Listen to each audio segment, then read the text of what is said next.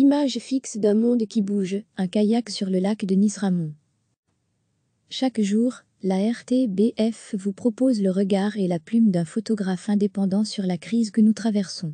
Un cliché et un texte publié chaque jour en soutien à la presse, dans le cadre de Diez Restar, le plan de la RTBF lancé en soutien à la culture et aux médias, secteur durement touché. Dimanche, je décide de rouler jusque dans les Ardennes, en ce jour de congé du 1er juin, après avoir roulé 1h30 pour voir le barrage de Nice-Ramon, on décide avec mon épouse de se lancer dans le tour du lac. Un tour de 14 km. C'était beau de voir les couleurs des Ardennes. Plus loin des gamins jouent dans l'eau sans se soucier de quoi que ce soit, d'autres pêchent, et certains font du kayak, les couleurs deviennent superbes, une dernière journée de silence avant la reprise.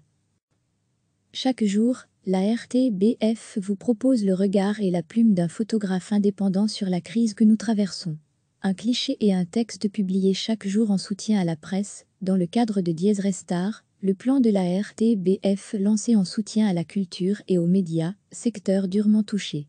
Dimanche, je décide de rouler jusque dans les Ardennes, en ce jour de congé du 1er juin.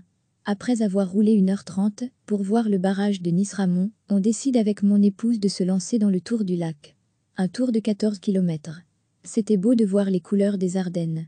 Plus loin des gamins jouent dans l'eau sans se soucier de quoi que ce soit, d'autres pêchent, et certains font du kayak, les couleurs deviennent superbes, une dernière journée de silence avant la reprise. Cliquez sur s'abonner pour recevoir les dernières nouvelles.